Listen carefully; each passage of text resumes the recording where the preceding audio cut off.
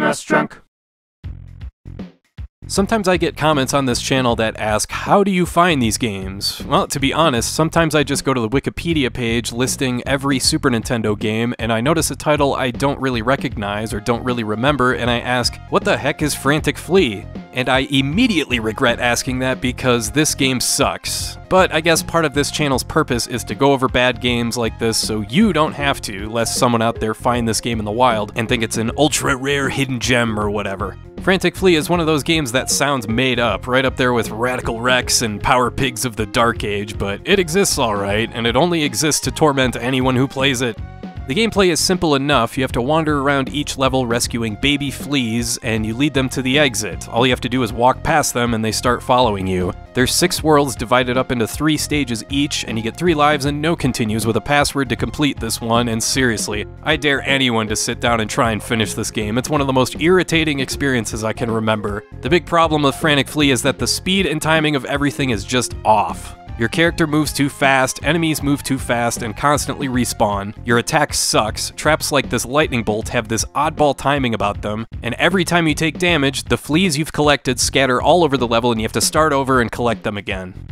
Frantic Flea was released in April 1996, developed by Haus Teknikka, and I could barely find any information about them because apparently this is the only game they ever made. Probably for good reason because, man, this game is bad. You have to hit these enemies like five times to get rid of them, and since you have a melee attack, you have to be right up close to do damage, and the hit detection is awful. You're gonna take damage more than the enemies do. And really, enemies don't seem to respond to your attacks, and they respawn the split second you leave the area. The jump sucks, and you regularly fall through platforms. Baby fleas will regularly jump over you, seemingly refusing to be rescued. Apparently, they'd rather just die than continue on, and I don't blame them. Check out this part here. You have to lead your fleas up to this platform here, which takes forever because your jump sucks and the hit detection sucks, and yeah. Let's put an enemy right frickin' here, zooming around with no discernible pattern or timing. Ugh, it's just the worst. Landing basic jumps is such a pain in the ass. I mean, look at this part here. This jump just won't land, and I know it can because I've done it before, and then the second it lands, here comes some random enemy that just respawned. Jeez.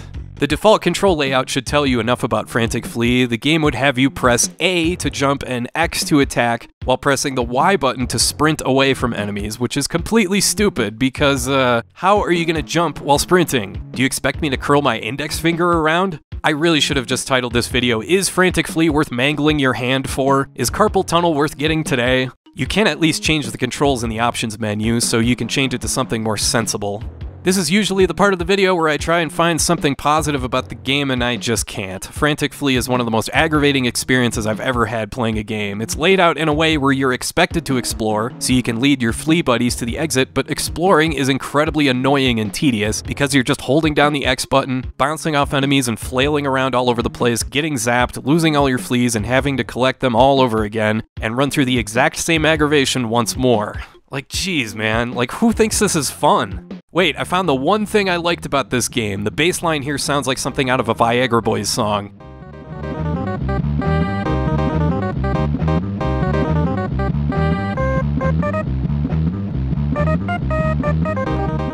I keep expecting some drunk guy to start shouting about sports. Speaking of sports, and I really can't believe I'm saying this, it hurts to say, but I'd seriously rather play Bill Laimbeer's Combat Basketball than this game. It's that bad. I'm in awe that Frantic Flea came out in 1996. I'm stunned by its awfulness. You could be playing, I don't know, Breath of Fire 2 or Final Fight 3 or whatever else came out around that time, and picking Frantic Flea over titles of that caliber is like drafting Ryan Leaf over Peyton Manning.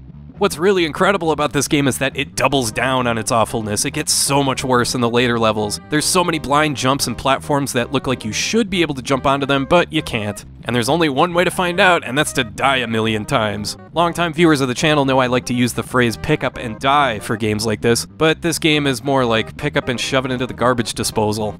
So yeah, believe it or not, I do not think Frantic Flea is worth playing today. I don't think it's worth playing tomorrow. It's not worth playing yesterday. It's not worth playing with a box. It's not worth playing with a fox. It's not worth playing here or there. It's not worth playing anywhere. It's truly a miserable experience. You know a game is bad when not a single person has posted a walkthrough or a FAQ in the 25 years that GameFAQs has been around. Playing this game felt like I was sentenced to do community service, like I had to make this video to make sure nobody else plays it. So please, help me feel like I didn't waste my time here, and avoid this game.